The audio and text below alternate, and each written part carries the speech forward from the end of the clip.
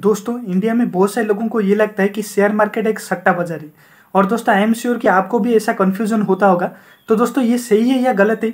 Actual दोस्तों, यहाँ पर ये सही भी है और गलत भी है। क्योंकि दोस्तों, क्या होता है? शेयर मार्केट उसके लिए सट्टा बाज़ार हो जाता है जो दोस्तों सीखने के लिए तैयार नहीं होते। क्योंकि दोस्तों शेयर मार्केट भी एक बिज़नेस ही है। तो दोस्तों, किसी भी बिज़नेस में इन्वेस्टमेंट करने से पहले हमको दोस्तों ये चीज़ देखना पड़ेगा कि दोस्तों, हमारे उस पर ऊपर नॉलेज कितना है।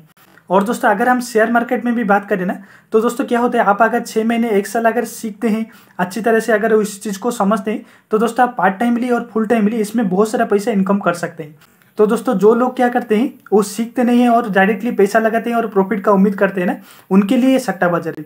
लेकिन दोस्तों, ऐसे भी कुछ लोग हैं, जो कि दोस्तों इस चीज़ को सीखते हैं अच्छी तरह से और इसके बारे में जानते हैं, उसके बाद दोस्तों इन्वेस्टमेंट करके, दोस्तों आज के डेट में वो बहुत सारे प्रॉफिट इसमें जनरेट कर चुके हैं। इसलिए दोस्तों, इसमें कोई कन्फ्यूज़न नहीं है दोस्तों। हर बिज़नेस की तरह इसमें भी कुछ रिस्क होता है और दोस्तों रिस्क के मुकाबले भी प्रॉफिट भी इतनी ही होता है। इसलिए दोस्तों, अगर आप शेयर मार्केट में एंटर करना चाहते हैं तो अच्छी तरह से इसको सीखिए। उसके बाद दोस्तों एंट्री कीजिए। और दोस्तों, इस चैनल को लाइक एंड सब्सक्राइब कर दीजिए। आगे जाकर दोस्तों, हम शेयर मार्केट के ऊपर बहुत सारे वीडियो लेकर आएँगे और देखेंगे दोस्तों, किस तरह से आप शेयर मार्केट में एंटर कर सकते हैं। धन्यवाद।